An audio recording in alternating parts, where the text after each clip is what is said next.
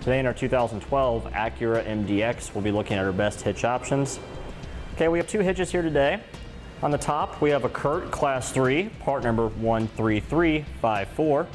And on the bottom, we have a Draw-Tite Class 3, part number 75614.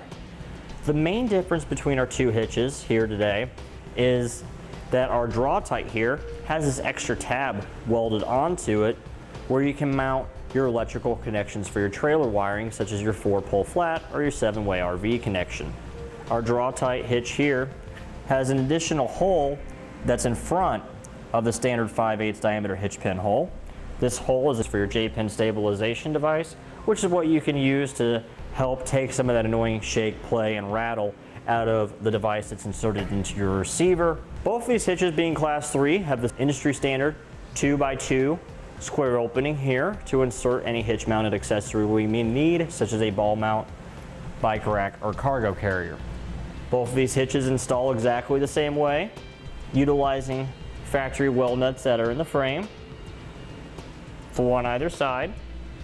Now, when it comes to the installation, our Draw-Tite hitch here uses eight of these bolts here that are exactly the same. They go just like that with the washer. Now, when you're trying to especially tighten this bottom one here, it gets a little tight in there with the frame of the hitch, trying to get in there with a socket. CURT, however, did things a little bit differently. They have four of each of these bolts here, one with a large head and one with a smaller head.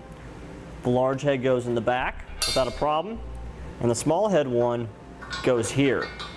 So as you can see, that does give you a little bit more room to fit a socket on there to tighten it up a lot easier. We need to temporarily lower the spare tire and temporarily lower the exhaust in order to have room to raise the hitches on up. Both of these hitches will work with the temporary spare tire. If you have a full-size spare tire, it won't fit underneath the vehicle anymore. Both of these hitches have a round tubular frame construction that hides very nicely underneath our vehicle. They both feature the same style safety chain connection here, where it's an angular plate welded to the bottom of the receiver and the frame. Both fairly easy to use. You'll be able to fit the smallest diameter of safety chains in there.